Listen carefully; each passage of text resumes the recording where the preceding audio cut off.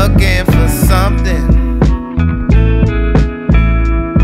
That's already here. Love is the treasure, Yeshua's the abler, hope is the vision, Holy Spirit's the